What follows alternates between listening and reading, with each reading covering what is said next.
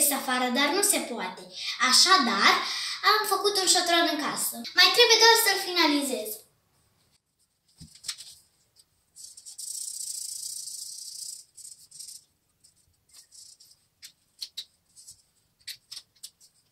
Hai să ne jucăm!